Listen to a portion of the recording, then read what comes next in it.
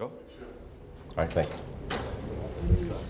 This stuff, the strongest one they used. Oh, come on. There we go. All right. Fantastic. I love it.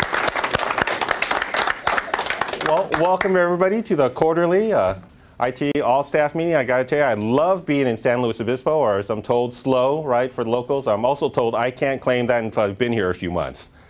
But really, uh, can you think of a better location, right, than San Luis Obispo? It's one of my favorite places to come down in. So I think we're going to start looking at quarterlies every quarter here at San Luis. So there's, there's a couple microbreweries I hadn't hit yet. So, you know, we may turn this into a quarterly, monthly thing. I don't, I don't know. We'll figure that out. But I really do appreciate everybody's hospitality in San Luis Obispo. And this is really an important thing for us to communicate with all the IT staff. So we've got an exciting agenda for you. I think we've got a lot of updates. And being that this is the first quarterly, some of the things we're going to be talking about include, right, what we've done over the last calendar year. So you're going to see all the IT division chiefs come up and, and talk about some of the accomplishments and also touch on some of the topics that we've got coming for this, uh, the rest of this calendar year and, and the rest of this fiscal year. But you know, by all means, ask questions. I, we've already got some questions ahead of time. And uh, we're also taking questions throughout this. So I think we've got the Ask George email line uh, fired up and running. Um, so ask away anytime you got. But I want to introduce kind of a, a very key uh, sponsor and stakeholder for us, especially here in, in D5, and that's, uh, that's Tim Gubbins. All right, Tim. Welcome to San Luis. Thank you so much. You know, I'm actually worried about this a little bit because you're like one of the wittiest uh, district directors I've met. I got to tell you, I, I, feel like I'm two steps behind. see it, see it. You prove me right. So I, I love that because I'm very rarely right. But anyway, um, you know, from what I've observed, you're one of the, uh, the wittiest IT district directors. I, am sorry, one of the wittiest district directors. Oh, okay. I subordinated you there. So I'm going to use that for Melissa later. Okay. And the other thing, you know, I've, I've come to realize you've actually been in the district a long time. I have. Um, well, as I think you know, you know we have mm-hmm. we have a wonderful area here yep. when it, when it's not raining like it has been this month. Um, wonderful area here. I was lucky enough to kind of stumble into this district as a new hire out of college. Wow. Uh, that was a little over 29 years ago. Fantastic. So, Like 29 years just 20, here. 20, yeah, I've had a couple, a couple stints in Sacramento, okay. one over in Fresno, you know, just to okay. let me appreciate District 5 a little more. Cool. Um, but yeah, yeah, it's, Sacramento's a good place to be. Fantastic. From.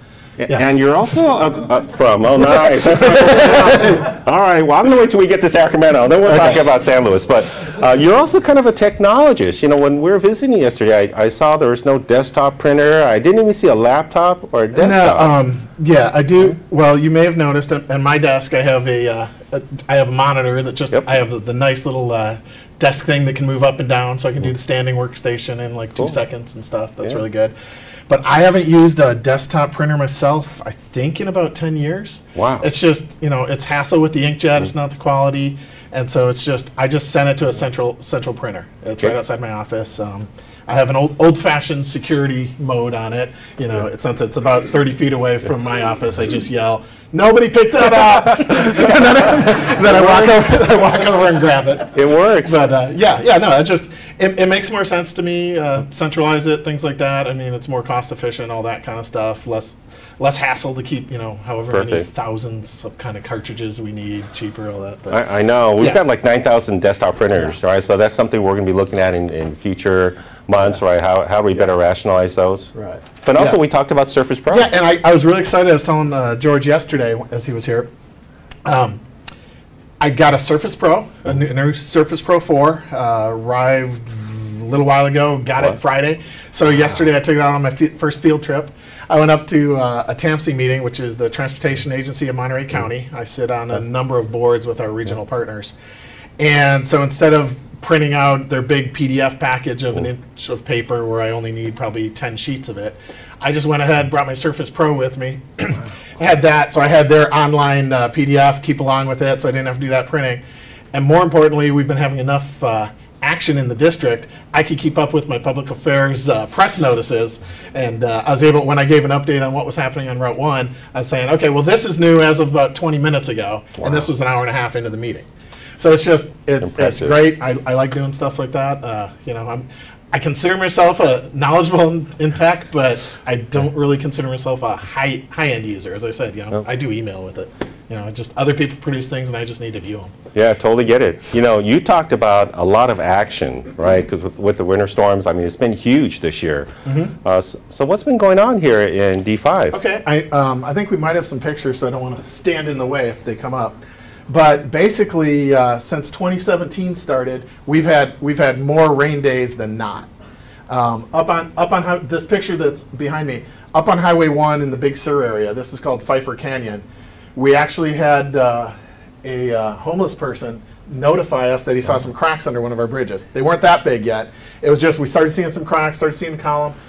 What happened is that whole area is a landslide underneath it. So this column started pulling away from the bridge. You see the cracks there. Then the bridge is going down.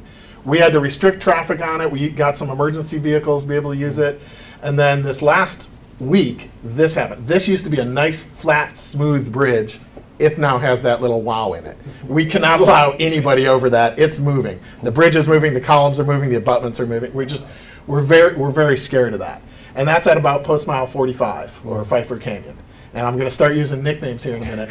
then further down the road, in the next 60 miles that are still in there, we get we get situations like this where some of the roads slipped away, and that actually looks fairly minor some, compared to some of the things we're looking at. Wow. Um, you know, ag- we, we have mud at, at Mud Creek. We have mudslides. we have mudslides going across How, the how appropriate. going across the road. We have trees down. You can see it's not really passable for cars, things like that. But we also have a lot of debris, rocks, mud. This type of slide, this is near Limekiln, uh-huh. Limekiln Creek, which is just south of Paul Slide, which you know is, is near Grandpa's Elbow, which is, you know, a couple miles south of Cowcliff.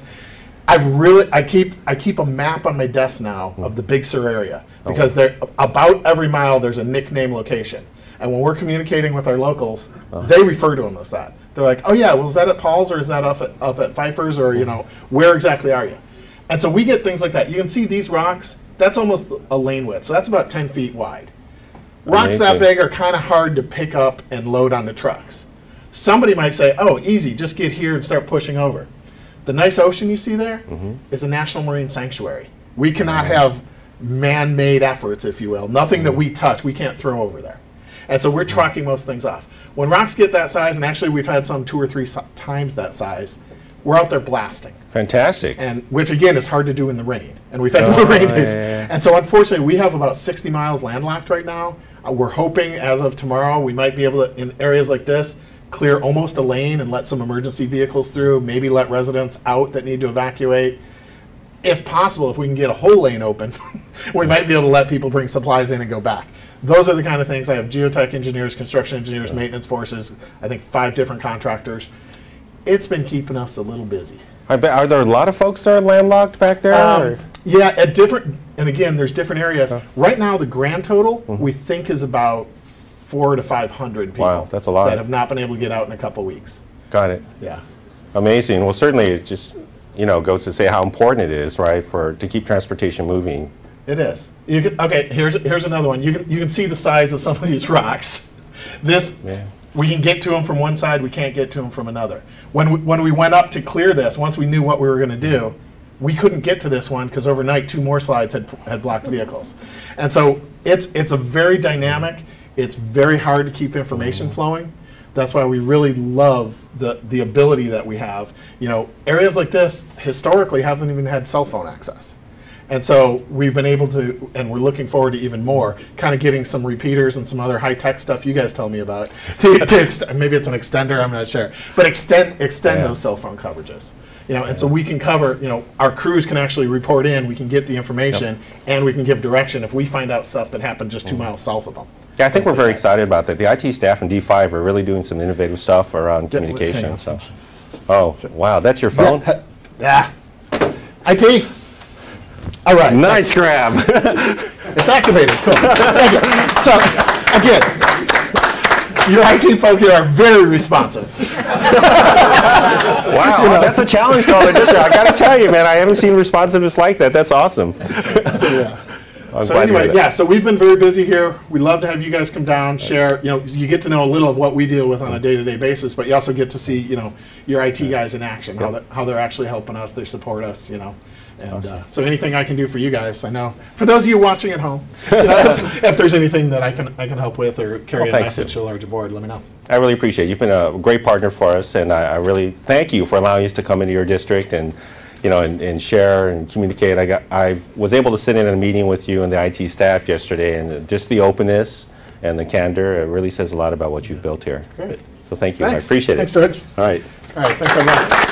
Thanks, Jim. All right, and now, actually, I want to introduce uh, Melissa Hayworth, not of the Haworth, uh, I, I guess, cubicle fame, right? No, But unfortunately. The local IT district manager. Have a seat. Let's have a chat. Thank you. You know, I always have to have a couch here because I'm old and I need to sit down every now and then. So this is more comfortable for me. Absolutely. So can you tell us uh, a little bit about yourself? When we were talking earlier, it sounds like uh, you also, like myself, have been at a lot of different departments. I have. I have. I started my state career uh, with the Department of Mental Health back in 1988. Um, for a couple years, I did the psych tech thing. Um, found that that wasn't my cup of tea, so Yep. I moved on a few times. I dispatched for hospital police and eventually ended up at uh, the Department of Corrections. And wore a uniform for about 10 years. So you've got the health and safety retirement? I do. I'm so envious. That's 3% at 50? yeah, 10 times 3 is 30 years. Wow. Yeah, isn't that great? I love it. That's cool. Yeah. And then uh, after And then from there, I realized that doing that job ne- wasn't necessarily uh, what I wanted to. It wasn't my end all be all. So I went back to school and and migrated over to the IT side, um, working for parole operations. Um, kind of doing a field job like some of my staff do, supporting uh, parole offices up and down the coast. Um, as an assistant ISA, then an associate ISA, uh, and from there I got into supervising with the um, receivership for California Correctional Health Care Services, and um, worked in that position for about seven or eight years. That was a big effort. that- Was that court mandated that the healthcare was was. going to leave CDCR and and Yes. create a new organization? It was. It, it was uh, kicked off by an, a, a lawsuit by an inmate who, or two or three, who decided that they weren't getting the proper health care. And so uh, a three panel judge said, okay, we're going to move health care underneath the receiver and uh, mandate that you do all of these things to provide constitutional level health care. And that was Clark Kelso?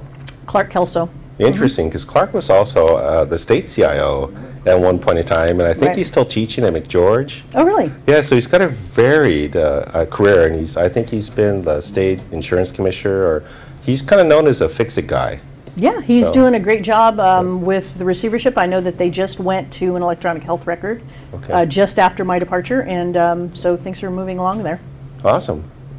Sounds like a very storied career. Uh, the other thing that we talked about, you're actually a, a car person too, which is near and dear to my heart.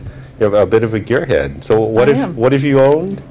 Um. I have. I, I've always been somewhat of a gearhead. I like fixing things Oh. um, that are broken. Um, I uh, historically was very into air-cooled Volkswagens, and so I restored a '65 Volkswagen Bug uh, to complete to completion. Um, was about three quarters of the way through on a '67 Karmann Ghia, and didn't quite finish that one, unfortunately. Oh, Um, so, but yeah, I, I like to work on cars.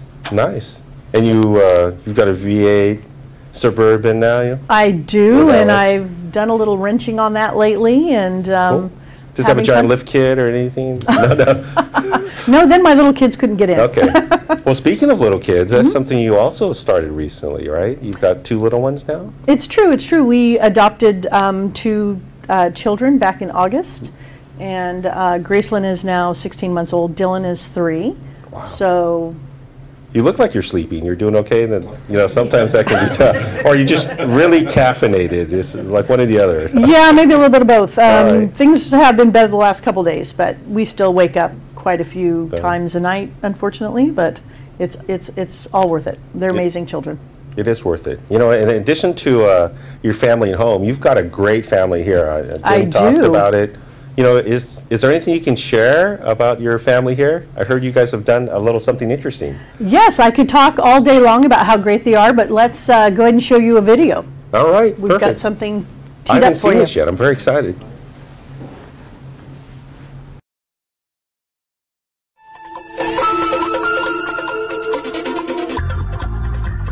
This series presents information based in part on theory and conjecture. I'm here in District 5 looking for the elusive D5 IT employee. There appears to be seven of them. They work together but travel alone or in small groups. They support a region of over 750 customers. They've been known to resolve issues from VTC, desktop, and server support. Always professional, but unwavering in their commitment, but very elusive. Join me in my search for the elusive D5 IT employee. I see them around different places here because I walk through the whole building. I deliver stuff. I've talked to them. They come out when I call and I need to have something picked up. Like sometimes I have laptops come in, them, or you know desktops. I call them. I contact their boss. She gets hold of them. They come in, pick them up. We have a good rapport. The guys all really nice, willing to help, and everything goes really smooth. I see them all the time in the EOC because we have to update the computers and put new passwords on them every quarter. And um, there always seems to be a problem every time that we do that. So Ben and Jeff and John are always there to help. Um, anytime you put in a ticket or give them a call, they're uh, super friendly and they're always happy to come in and help us out. We're here in the District 5 server room looking for the elusive IT employee. I see by this pile of cut wires that they must be near. Still fresh.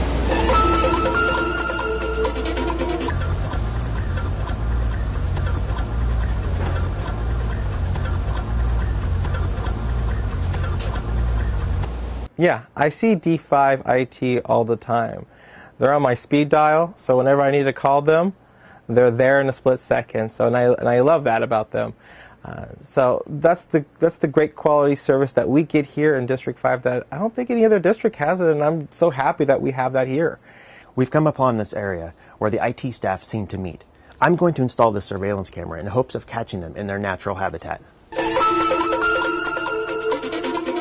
This whole area reeks of fresh cut wire.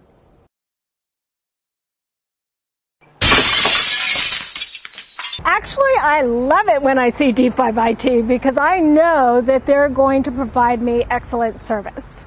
D5 IT is a one of a kind department. I have worked in District 5 IT itself many years ago. Um, they aim to please. They they come with a smile on their face and are always willing to help us with every little issue that we have at, out in maintenance support. And we have many. Well, it looks like the District 5 IT will continue to be a mystery. Their contribution, undeniable. Their professionalism, unsurpassed.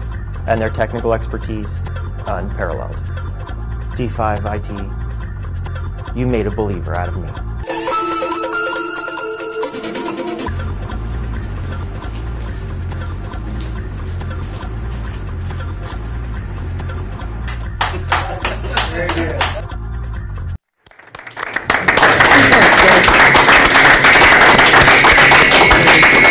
That was fantastic. So I, I really appreciate the effort everybody went to that. You know, I, I got to tell you, I've been very impressed with uh, camaraderie and the and the D5 team, and and uh, as I mentioned with Tim, you know, I I really appreciate the transparency and candor. So uh, keep up the great tradition here, you know, in D5 IT.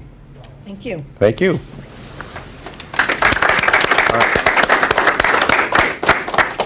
All right, and I, during this segment, we're going to talk a little bit about updates, not only for myself, but also updates uh, from all the division chiefs. But I want to get us started.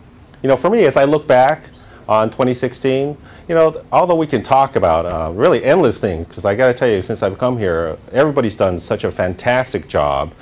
Uh, but there's four things I want to highlight uh, a little bit more. Right, one of them is the IT strategic focus, if you will. You guys remember last time when we were in Marysville, we had the pyramid chart, right? And it, talked about transformative activities, it talked about efficiency activities, and it talked about stability activities. We've kind of used that as an anchor, right, to kind of guide us on where we're going to go. You know, that document also talked about some of our operating practices, you know, the one IT, the business focus, collaboration, and uh, the one that I love the most is the achievement orientation. Uh, so that, right, is it's a little short of a strategic plan. I think we're going to be looking at doing a strategic plan in the next fiscal year. But at least for this year, and until we get the full-blown IT strategic plan developed, that focus document serves as our guiding light, if you will. And after that, I also want to talk about the CIO communications, and this is a big part of it. I got to tell you, and, and, a lot of work goes into these. You know, you know I, the team here actually uh, at Ed Company, they got here Monday, right, which, which was a holiday, just to make sure that this goes off well. But it's so important to me and executives to have an opportunity, right, to engage the districts as we come out here, and also have an opportunity to share what's going on at a high level. You know, I'm going to pitch again that Ask George line is, is open. So, you know, if you have any questions, email them. And uh, if we can't get to them here, we'll get to them online on the website uh, under IT. So, but the communication cadence is very important. You know, these are quarterly. Every month we have a meeting with all the IT uh, soups and managers. Uh, every week I put the division chiefs through a couple of meetings, and that hopefully, right, helps us stay on the same page and move in the same direction, right? And I always say when you get more folks involved, right, you get a little more thoughtful decision making happening there. The next topic is uh, IT asset management, and that's really something we're going to see going forward, uh, not so much in, in the past. We've been asked to look at our IT assets, right, much more closely. Uh, certainly, uh, Mike worked on the hardware uh, BCP, you know, and Tracy's actually now looking at uh, our applications. And what do we have, right? What, what's the state of all our hardware that triggered the BCP? Uh, again, Stacy's looking at all, Stacy, Tracy's, I don't know. Stacy, Tracy, you change your name all the time. I don't know. it's, it's, it's Geisler now. I'm going to wait till next month. Um, but, but, but, looking at all looking at all the applications that we have, um, and also the next push is going to be looking at the software, right? So how many Adobe Pro licenses do we have? And there's continues to be focus on our cell phones. So coming into the next year, you're probably going to see a lot of focus around, you know, who's got what software, not only for us but in the program areas. You know, what's our cell phone count? Do we have them in the right places? Uh, you know, of course, printer rationalization is coming. So there's a, a, bigger focus that's been asked of the IT department around what our hardware assets, hardware software assets are, and, and how can we manage them as effectively as possible. The last thing I have on there is uh, certainly we've had some significant hires. We hired a new CTO, Mike Wynn, and a new ISO, Karl Kopper. So, you know, we're filling in the leadership team. We actually have uh, one more that I think we'll be going out for very shortly, and that's on the, the CSD uh, division chief. But with that, I actually want to introduce Karl. And Karl, since you're here, you know, can you sign this book for me? Because I understand you had something to do with it. Sure. You want me to address it to your wife? you know, she reads it all the time. You know, in fact, my 13-year-old is riveted by it. So it's, it's between that and the iPhone. He goes to the book all the time.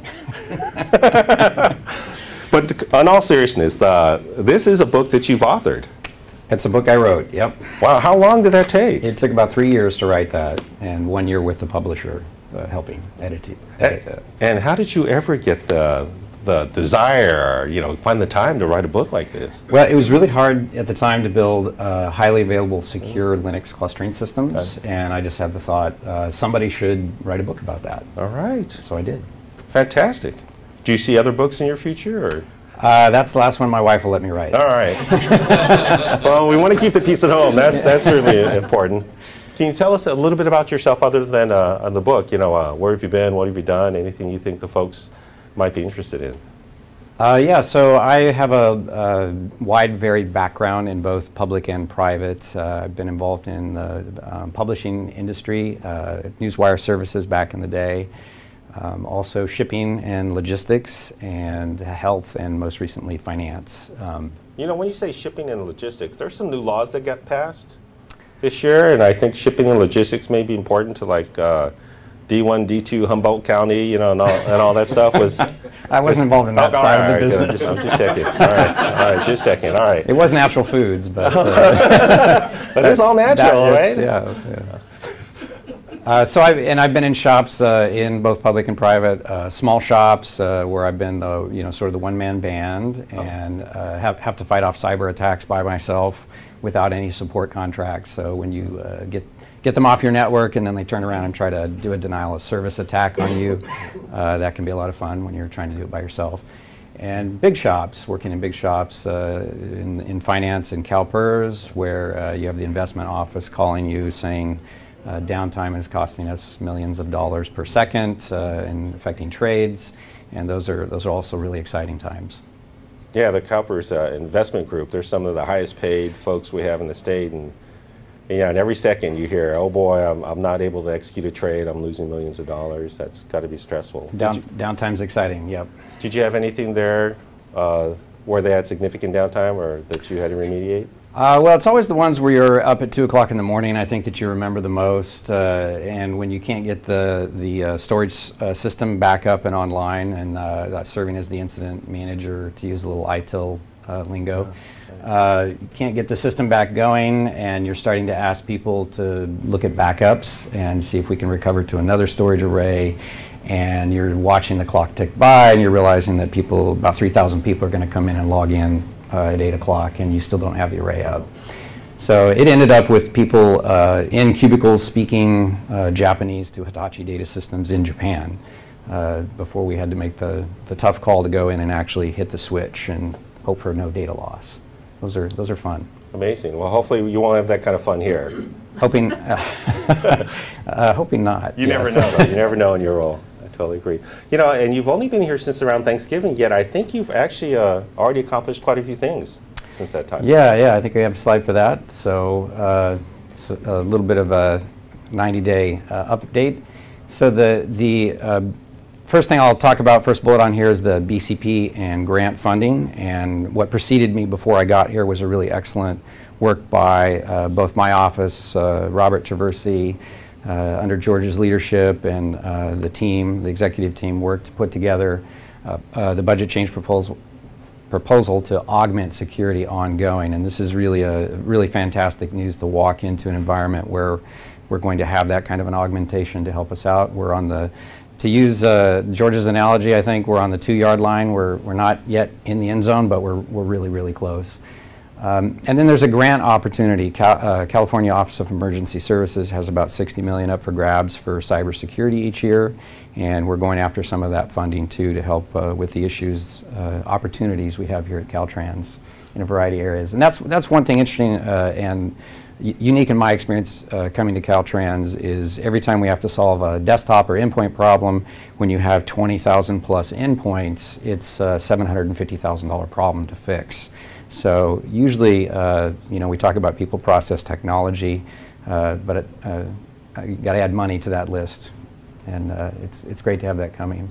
We made some new hires. Uh, hired a triple S3 tech. We've got an offer in for a triple S2 who's a, he's accepted. We'll start next month, and a triple S1 that we're working, hopefully get on board real soon too, in the ISO office in Sacramento. Uh, we did an incident response tabletop. Uh, one of the first things uh, I wanted to do when coming here when uh, I noticed that uh, we didn't have a mature incident response, cybersecurity incident response program or plan was to put something together, engage with the business. We had uh, public affairs, legal, legislative affairs, and representation from all the areas of the business legal that we could get in the room at one time and just walk through, not a traditional tabletop where you try to exercise your program, but a uh, more of a workshop tabletop around cybersecurity incident response. Everyone was extremely engaged. We got a lot of feedback. We identified some gaps. And it's not a one and done. We'll be coming back around and we need to get district uh, involvement, of course, as we mature that program up. And last time at the All Staff, uh, I heard there was a question around endpoint protection and antivirus software. So if you're out there, whoever asked the question, this is for you. We have about, as I mentioned, uh, of course, around 20,000 endpoints. And uh, the question was uh, I, something to the effect of when are we going to get antivirus software? And this is after I had accepted the job. so, Timing is everything, Karl. I so I was a little shocked to hear that question. Uh, truth is, we do have antivirus software, and we have uh, McAfee rolled out to all of the endpoints, essentially all of the endpoints. I'm happy to report there's something called Rogue uh, system detection that's telling us uh, what's uh, coming on the network that it doesn't have the software installed. And we're under 200 systems that aren't reporting. Of those 150 we can't ping, so they either have local firewalls on the box or they're not on the network. So really is a manageable number and we do have antivirus uh, software rolled out. And we, we have some features of that software we want to continue to mature up and, and roll up, roll out. That's awesome. So you've been here three months. 90 days, yeah. And this is the list. All right. So, you know, that's a pace that I hope we're able to continue. So I know you've got a lot going on. I know you've actually done a lot of other stuff too. Like you've talked to the Muni guys about their hack, right? And, and you keep uh, dialogues with the state ISO as well as the other agency ISOs. So I appreciate all that, Karl. Yeah, it's been, uh, it's been interesting, to say the least. All right, interesting. Is that security uh, speak for? uh, it's kind of like opportunity. Okay, all right. Same, same kind of That's word. the word I like to use. Well, thanks, Karl. I really, Thank you, George. I appreciate you being on the team, and I, I got to tell you, I'm so Thank you. so happy to have you here. All right, Tracy, come on up. I know I caught you say, I'm so sorry, you know, but it's the Scribner, Geisler. I knew you. I've known you for how long now? Long Almost time. 15 years. really? Creeping up on that, yeah. Wow, crazy. So so I'm good to trying have. to keep you on your toes. Thank you. You do a great. You do a fantastic job of that. Thank you, thank you. You know, So- and we've got a little competition going that you're beating me on, but we, we won't talk about that because I'm happy to share. I knew you would be. That's what I love about you. but uh, you've got some things going on in your area too. I do, I do. There's right. always a lot going on in ITSD, and I'd um, first I, you know, I'm going to talk about some accomplishments that we've done, and then uh, talk about a couple of items that we have in the works right now. But I really wanted to uh, do a shout out to my entire team for all the great work that they've done this past year. Um, you guys have been fabulous. I could, I only have six minutes, so I have to keep it short. So I chose, you know, some of the bigger things to talk about today. First, I want to talk about Staff Central enhancements. You know, you all know, you've all seen the shortcuts um, on um, our different web pages. We actually updated, I think it was um, like 80 different websites that we had to, we put these shortcuts on. Um, and, but the result of that is that we have, um, we've, I can't think of the words, but um, we've done a huge improvement on unreported um, leave time. It was like 90% improvement. So that's huge for the organization. And that was a Lean Six Sigma um, effort. If you guys are ever have the opportunity to participate in that, it's um, a fabulous um, effort. Um, one of my managers, Shelly um, Chichov, she was on the team and I know she enjoyed it.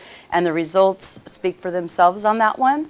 The next thing I want to talk about is quick maps. Did any of you see the, uh, the uh, Caltrans news flash that we did on quick maps? So um, really the big exciting thing is that last fall, I think it was in October, we rolled out the Android application for quick maps and we already have 30,000 downloads on that one. And then on the um, iOS, which we just rolled out, and that's when we did the um, news flash on, um, we already have 17,500, and I'm sure that was last week's number, so maybe it's e up even higher than that. And so my goal is for all of you to download it onto your phones. If you have Android or Apple, we can help you out with that. We've Um, actually submitted that for an award too, haven't we? we have. I was going to talk All right, about that. right. Um, so next week I'm up. I'm doing a presentation. We're going to use the the news flash as um, part of the presentation over at the govern, governing in, innovation and technology um, forum uh, next Tuesday. So we're up for an award. We have to do a presentation, and then the audience votes. So if you all want to come over there and vote right, for us. I'm happy to you know stack the audience. That would be great. Um, and along Quick Maps, you know, it's not a system that's out there and we're never going to change. I mean, it is ever evolving. We're talking about creating a new Quick Maps for just the trucking industry. So we'll have trucking industry specific information on there rather than the general traveling public. Um, website enhancements. Um, I'm sure all of you have noticed that um, dot.ca.gov got a um, facelift last January. Um, that was 125 plus pages that the team went through and they updated. We had we did a freeze on the whole system for a few weeks. I think it was six weeks, and it made a lot of people nervous. But we met the date, and the outcome was really great. We continue to work with the different divisions on updating some of their pages. Um, on the intranet side, we have 85% of all of the intranet websites. They are on our standard platform. Talking about standards. Um, business intelligence. I want to talk a little bit about some of the accomplishments, and then that's an ongoing effort that we have going on. Um, we have the sponsor of that is George is one of our sponsors, but also it's maintenance, traffic ops, and a piece of DPAC that has to do with material management. They were the original sponsors for this effort. Um, but we've recently added two new sponsors. They, um, we did a bunch of educational sessions, and they were so excited about it. They're like, "Hey, how do we how do we get in on this? We want to be part of this." So um, we have a portion of DRISI. It's four characters, DP something or other. Can't remember that one. Um, and then the other one is um, project management um, down in Carla's area. Okay. Jim Davis's area, very interested in participating in business intelligence. So business intelligence, you know, you hear the words, what is it?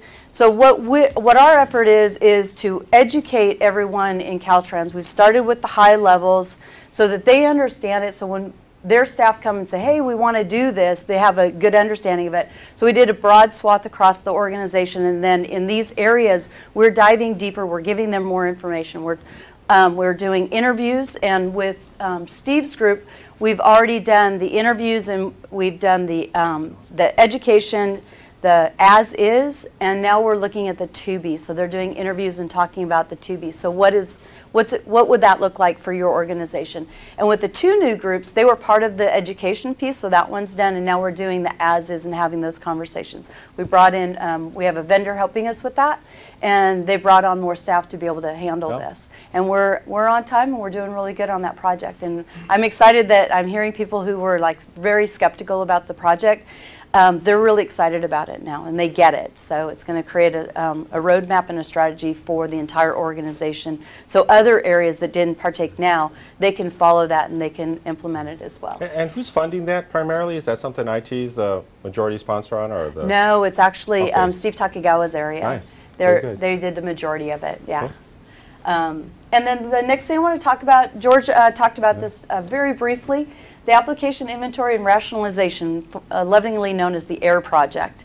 Um, that is really around ITSD getting our arms around our inventory, all of the applications that ITSD supports.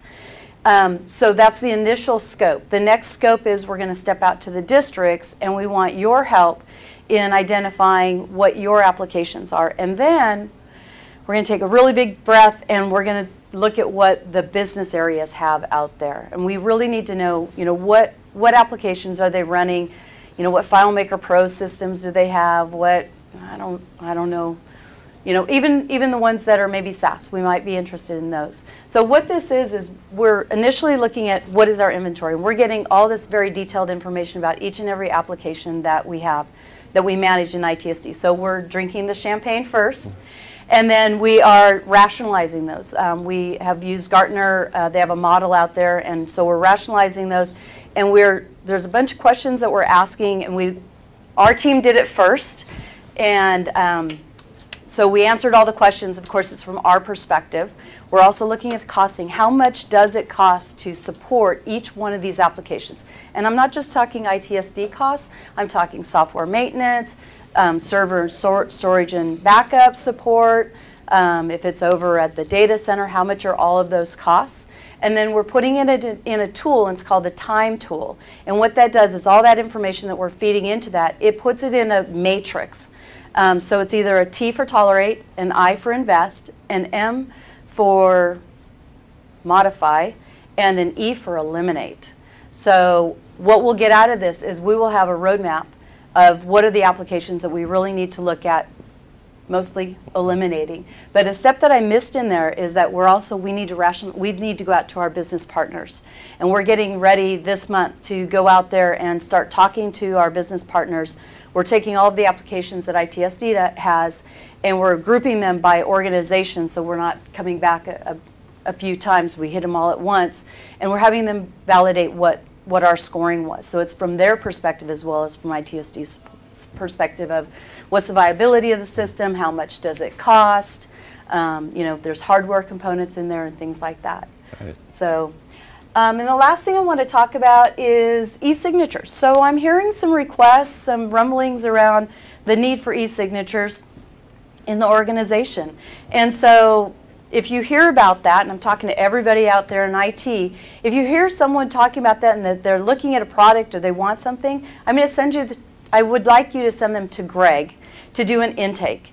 Because the good news is is that ITSD or IT mm-hmm. already has a, um, a product that can do e-signatures. My team's looking at it and starting to do some preliminary investigations on it. We have limited licenses at this time, but if the business need grows, we will work with the business areas to get more licenses for that. So like I said, my team's been busy. Yeah, we got a lot going on. You know, and I, also on the staff central, you mentioned Shelly on that. Yeah. So she actually won an award for she that did. recently, right? Yeah, she's actually she's going to get the award next week. Wow, fantastic. Yeah, Oh, good, so good. very exciting about that. Yeah, that'll be a lot of fun. Thanks All so much. Thanks, George. Appreciate it. All right. Speaking of awards, the award-winning Greg Gallagher, because you're actually joining Shelley, right, in an award what I as well. hear, yeah. Yeah, all Thank right. you very much.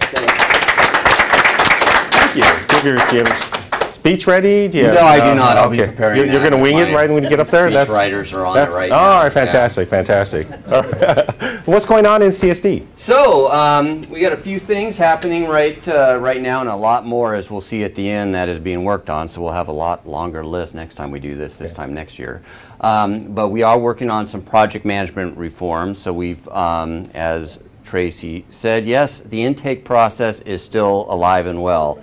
Um, we are modifying that a bit, um, so it's not quite to the accomplishment, but we are trying to keep it a little more nimble. So um, to make sure we've got the right people in the room, we can get all the information we need in a much more quick and efficient manner. So that is still going. But some accomplishments we've had in that area is we've integrated the uh, California Project Management Framework templates. So we've branded those for Caltrans. So we've, uh, we're starting to utilize those.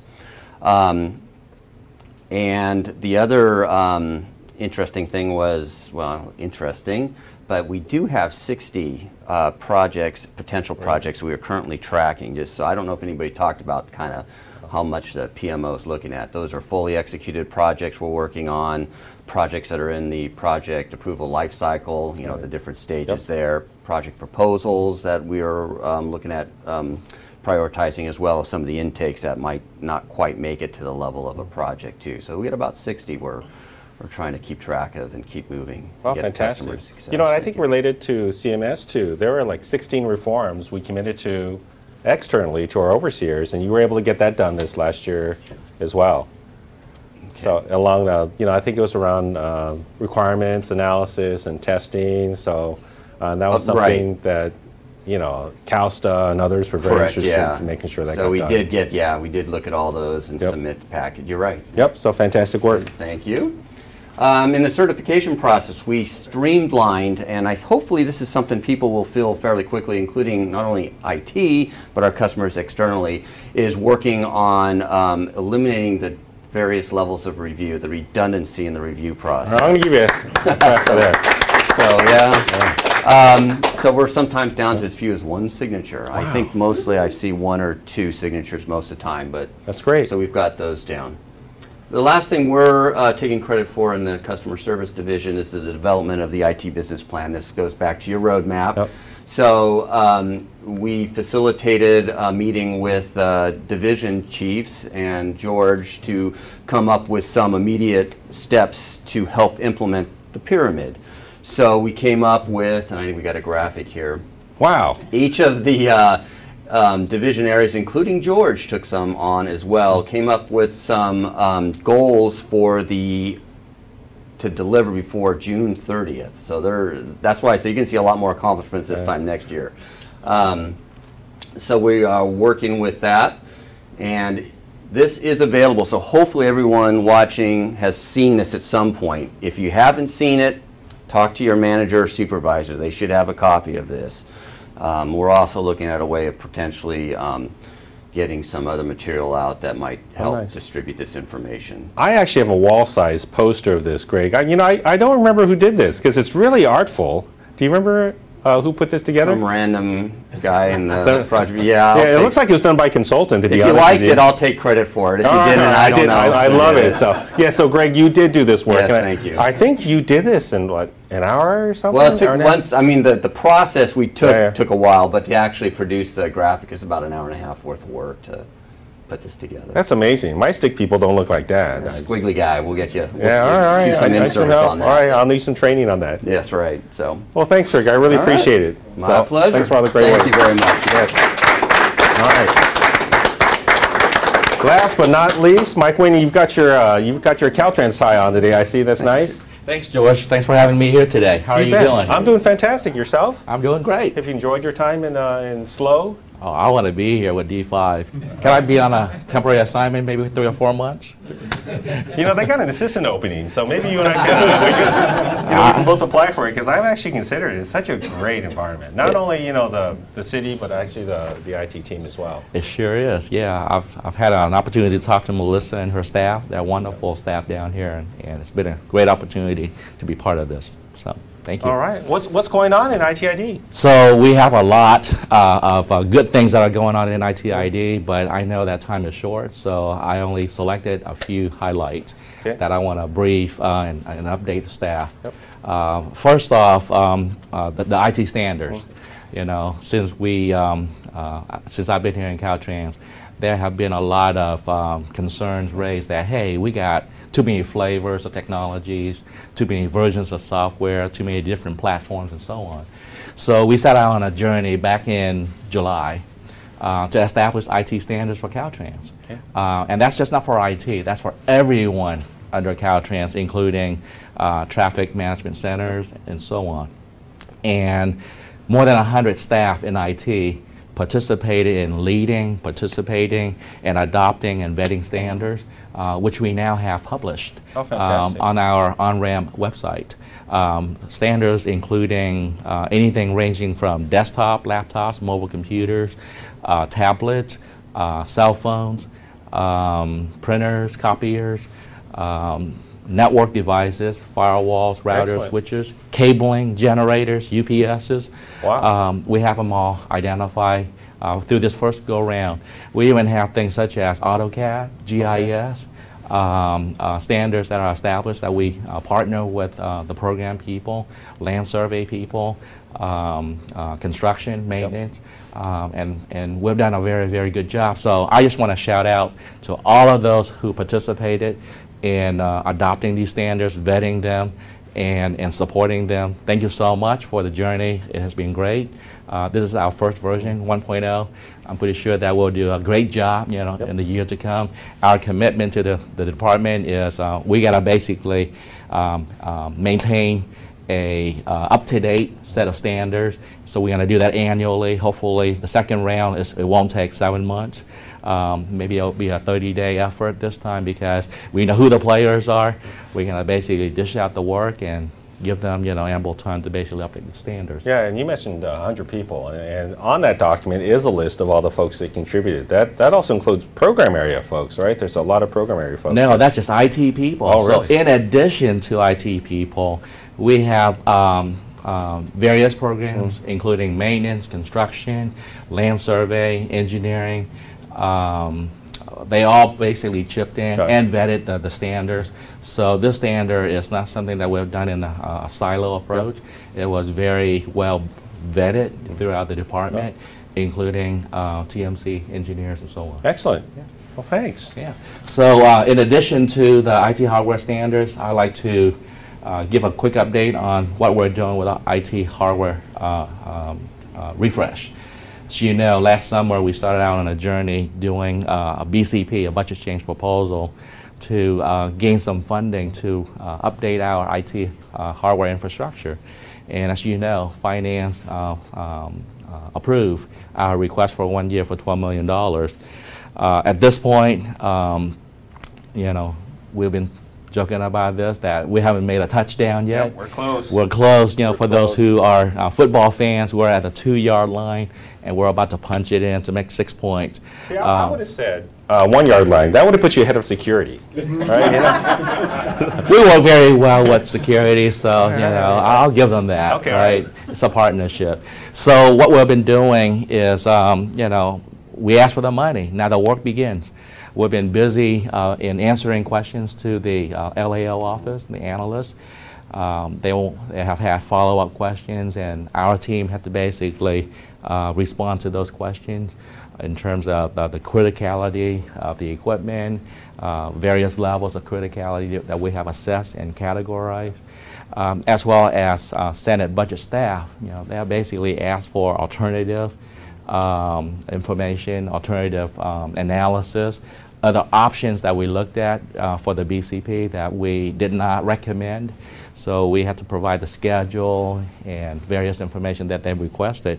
But more importantly, um, our staff have been very, very busy working with district IT staff in vetting uh, and validating the inventory, right? The routers, the switches, uh, the servers and the storage appliances that we have identified to be part of the scope to make sure that they are what they are and it's accurate information. In addition to that, we have been um, developing what I call a procurement plan. What are we buying, how many we're buying, where they're going to, when are we buying them, and so on. But more importantly, we also dig deep in um, developing what we call a deployment plan. Where are these devices going? Who's getting them? What's going to be our strategy for replacing old and aging equipment in a timely manner that we have told finance, right? We basically are going to be given a 12 months period to replace all of these things and we want to make sure that we have a strategic as well as a tactical set of plans so that we can go and do these in a most effective way. Last but not least, VoIP, telephony over the internet. Uh, it's something that is not new in the industry. It's been around for a long, long time, but it's, it is new to Caltrans. You know, we've been piloting in four district offices, um, 3, 9, uh, no, 3, 6, 11, and 12. They have been um, very successful. And where we are right now is we're getting ready to de uh, deploy about 5,000 units uh, in Sacramento uh, at headquarters and the Farmers Market Plaza. Uh, that is to be completed by June 30th um, uh, this fiscal year. Uh, that is our target date to complete. We're going to do our best to make sure that our users will have the best experience. Um, but in addition to that, I want to share with everyone that um, we have asked AT&T to work very closely with all the IT district managers in all districts to do um, a couple of things. Um, assess and certify that the cabling is ready for VoIP, which is Cat 5e and above. And the other one is to make sure that we have adequate electrical capacity as well as multiple circuits for redundancy purposes in our data closets so that these uh, PoE enable access layer switches, when they are coming in, they will be ready to be plugged in so that handsets would be ready to uh, get the power and be deployed with uh, VoIP phone sets. So um, AT&T will be working with me. Uh, well, actually, we have a scheduled conference call for them to share with us in terms of the assessment schedule for all the district offices up and down the state tomorrow.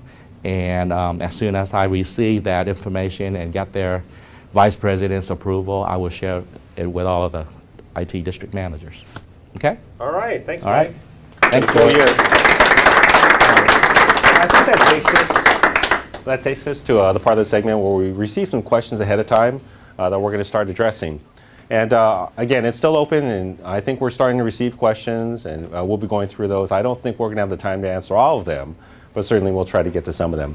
On the first one, uh, there's a question around our strategic goals, and that gets back to uh, the pyramid that we saw earlier, and the question was around, well, you know, what's the cost of implementing, right, our strategic goals, and you know, the total cost, the individual cost, and uh, for some of these efforts like BI that are kind of more fully formed and rolling down, uh, we know that that's about 900 grand. Most of it is paid uh, out of the program areas.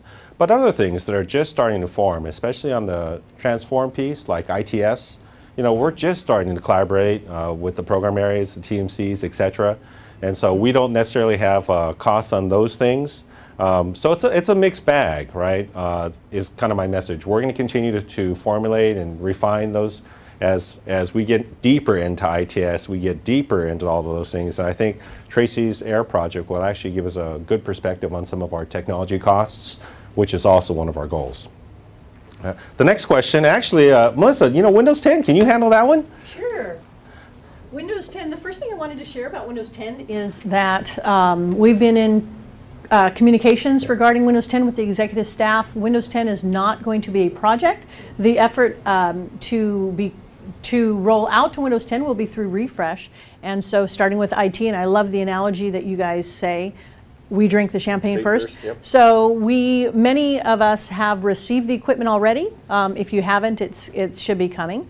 Uh, go ahead and install Windows 10. Get to know it, learn it. Um, get familiar with it. And we also uh, will be having, there'll be some courses available on CBT Nuggets and lynda.com, which should help in that, um, that effort. Um, so for right now, we're rolling it out for IT. However, we're also receiving equipment for the programs. We're not yet ready to start rolling it out to the programs. They're doing some testing for software compatibility. And so we're looking at a target date of somewhere in July as far as that goes. So All right. Well, thanks for that update. And I, and I really thank you for answering that because you literally got that question last night. You know, as we were looking at those, all right, who's taking Windows 10? So thank you for volunteering Oh, for you're that. welcome. I appreciate that.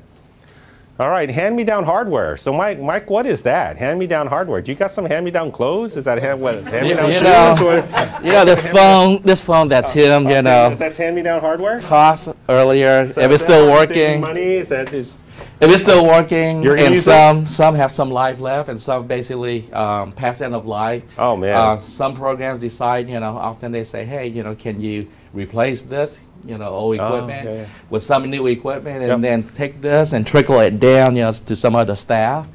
That's what hand me down is all about, right? Reusing it, handing it down to you know other people that have a need for it. In my household, I get the hand-me-down phone from my son, so that's that's the pecking order.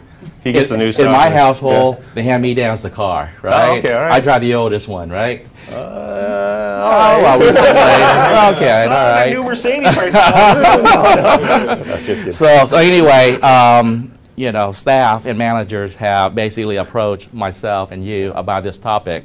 And from, from my personal perspective and our executive perspective, uh, the hand-me-down you know, effect um, is something that we want to avoid.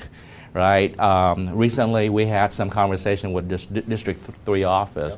You know, some of the program managers, due to financial constraints, wanted to do the hand-me-down to their staff. And um, Suzanne basically got me involved in sitting down with a program manager to explain to them that, hey, we have limited resources, right, staff resources, and they have a lot of important things to do to support the business programs. And we want them to do just that. Doing the hand-me-down um, is really doubling the work, right? Bringing in the new equipment for staff, and then we have to re-image the old equipment and then hand it down to another set of staff we don't feel that is really the best use of time. And when we explained that to business programs um, management, um, they were very receptive to that. They did not understand that fully until we took the time to explain that to them. So it sounds like having that conversation is really important, right? It is. It is a partnership, communication, communication, and sitting down with them to explain that uh, really uh, helped them out. So um, our perspective is we want to support IT managers and staff to avoid the hand-me-down effect as much as possible. Of course, from time to time there are exceptions, and we basically have to take those those into consideration. Got it. Well, thanks, Mike. I appreciate it. All right. Thanks, George. All right, promotional opportunities. I think that's you, Greg. And you know, are you telling me the assistant opening is going to be promoted so Mike and I can apply and I we can afford you rent? To All right, apply. thank Just you. know it's a very, you know, objective process to go through. are. So make Yeah, sure, absolutely. yeah. So this was a good question um, we got about what's it take to get promoted within IT. I'm paraphrasing a bit. Um, that got us asking about some questions. Well, what is the status right now of promotions within IT? So in the calendar year 2016, we had 80, we filled 87 positions in calendar year uh, 2016. Of those, we 28 of those positions were filled through a promotion, an internal promotion. A Caltrans IT employee received a promotion. So um, they, they are happening for those that are wondering. Um, so that's And is that uh, indicators, is that getting better or worse, you know, compared to prior years? It's, to be honest, about the same. Our number of um, positions that we filled jumped quite a bit in the 2016, since you've been here, quite Got frankly. And um, but I, I didn't when we looked for that, by the way. Yeah, by the way. So, um, but when we looked at that, uh, it looked about the same percentage Okay, all right. roughly. So the sample size is a lot different. Got it. Um, and then we were wondering if there's an impact. Uh, just anecdotally, our attrition rate was 7.5 percent. So that's not bad. Um, you know, some of those were promotions to outside agencies. A lot were retirements. So we tried to look at the stats. So my advice on promotional opportunities. Um, you know, there, it is competitive. It's very, you know, the hiring managers need to keep it as objective as possible. So scoring, um, screening criteria, all done ahead of time. So it's not, they don't wait to see who's applied and then figure it out. So it's done ahead of time when they submit their hiring packages. Um, one thing I want to emphasize for anybody looking to promote, it's not solely based upon your performance at your current level or in the past, right? That that could be part of it. That's part of the skills you, you learn. But it's basically going to be looking at the candidate's ability to perform in the position they're applying for. So some stuff just to keep in mind that goes into that. Uh, besides skills, knowledge, and abilities, education can come in, um, work experience. Uh, there's character issues, you know, ability to work as a team and, and kind of fit in with the team on that. Uh, one area I would encourage all the employees to do is the individual development plans, IDPs. They're supposed to be done, and we're, yeah, as managers look around, I think we're all looking in the mirror right now. They're supposed to be done annually. They can be done more often. So if you're out there, you're an employee, you haven't had an IDP in a while, tell your manager you want an IDP. Tell them about what your uh, career goals are so that can be incorporated into your IDP. So that would be my um, advice for that. And the one thing um, that George was bringing up just the other day, just yesterday actually, was Literally the other literally day, the other day. Uh, you know, the, the executive team here is committed to making sure that we have the right classifications to meet our mission and our goals. So um, George mentioned that he is committed to submitting a concept BCP to look at and try to get the right mix of the salaries and the classifications. Now that's not doesn't mean it's a done deal, and I'm sure George could jump in here at any time here. We're, we're actually on the other two-yard line. Yeah, right? yeah, along with- the, the hardware and software, hardware and security BCPs, right? We're just starting that journey. Yes. I got to tell you, the hardware and security ones were really difficult to get off the ground. It required support not only internally, it required support from agency, right, and uh, some overseers. So in those situations, we were only we asked for 60 mil on the hardware side, and we only ended up uh, getting one year, right, 12 12 mil. Uh, this will be an ongoing cost, so you know, in my mind, that means it's an even tougher journey. But we are definitely supportive of this, and it, it makes sense. Great news, yeah. Yep. So thank you very much. Okay. You bet. All right, thanks, Greg. Appreciate it. And. And lastly, job rotation is. It seems like it's really similar to promotional opportunities. Can you, we had a question about job rotation, and you know, are we going to do that? Is is that really happening now? And Yeah. So a question came in from one of our employees regarding job rotation. Do we do job rotation? Would we consider it? And the answer is absolutely yes. Um, we've actually been doing job rotation. right. Um, we've done it a lot with management um, as positions become vacant um, and we need somebody to fill that position. You know, Greg's a great example. He came down here to District uh, 5 and um, I got to get my numbers I straight. know, I know. I, I know. You're on the road so much, right? I I know. D- Hello. There we go. D5. Yes, there's my cue right, over there. right here too. Yeah. I don't. I don't want to say anything. Thanks, George. Yeah, I'm I there for you. appreciate it. Yeah, yeah. Anyway, so so um, George, uh, Greg came down here and did District Five. I know we've had um, some people filling in, and they were um, not management positions, but they were staff level um, people who stepped up into a supervisory or a managerial position, and they did the job for the required amount of time, or the most amount of time that they could. So we're giving them opportunities. So you're like, well, how do I get that, right? Well, my advice to you would be, um, be that exemplary employee.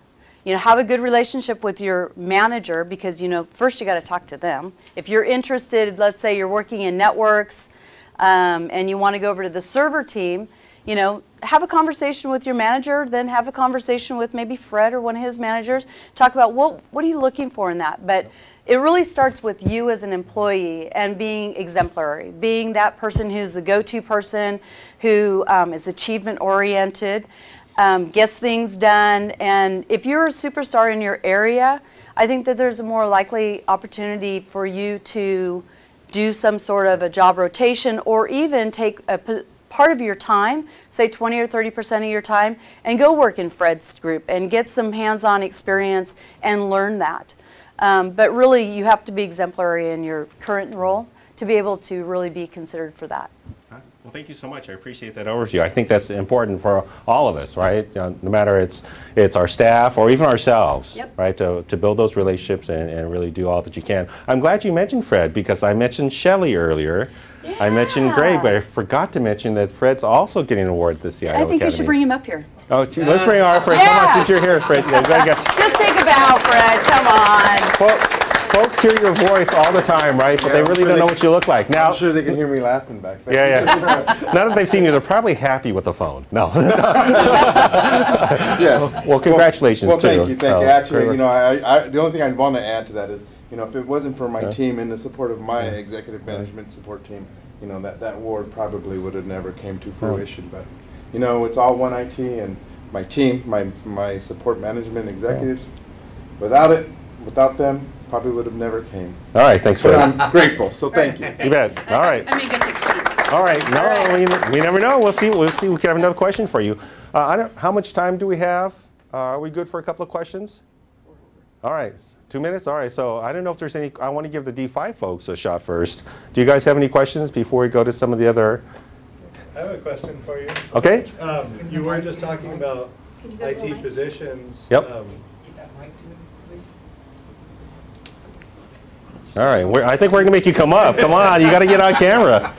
You're not shy. Do you have any information for us about the, the IT reclassifications that's been mentioned? Great question, and that comes up periodically. I, I got to tell you, there's uh, three IT kind of reclassification efforts uh, that I'm aware of, and uh, you know, for one reason or the other, they all kind of stalled out individually.